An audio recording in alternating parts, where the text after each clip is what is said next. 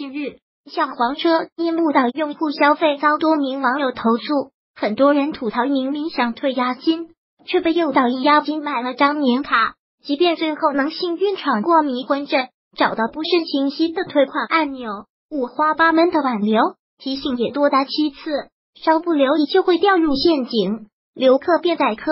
小黄车的这些招式实在不太光彩，不过这也并不是一家独创。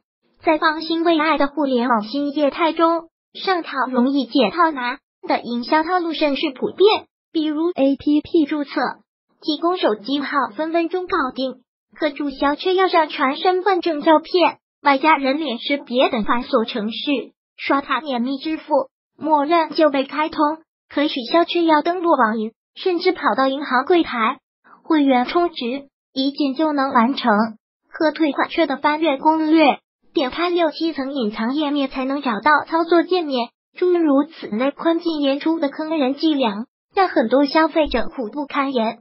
难怪有业内人士直言，这波操作是对消费者去裸裸的狙击。做生意就得开门迎客，但好客也得有道，取财也得有度。今天。技术进步日新月异，让消费者试得放心，退得舒心。其实并非什么难题。个别企业挖空心思在退出门槛上搞花活，显然是商业利益在作怪。回顾许多企业的发家史，莫不是大干快上、跑马圈地的路子。运营初期，伴随着资本疯狂涌入，搞得风生水起。但现在烧钱大战渐冷，资本水火痛去。众多平台的后续发展便难以为继，生存压力之下，唯有将留住更多用户当做提升估值、募得更多融资的筹码。但留住用户真正靠什么？用一些小把戏粘住消费者，看似能薅羊毛，但绝非长远之计。老百姓有句俗话：有在一，在二，没有在三，在四。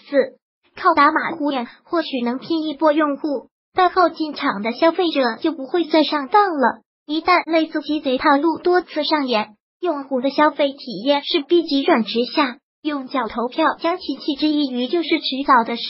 这只是一个活动，用户可以参加，也可以不参加，并不存在误导消费的情况。面对舆情纷纷，小黄车相关负责人员这样回应，寥寥数语，显然不能平息消费者的不满。希望相关企业能认清一点，不管商业模式如何变化，老老实实做好服务，提升企业，才能长远留住客，才是企业的立身之本。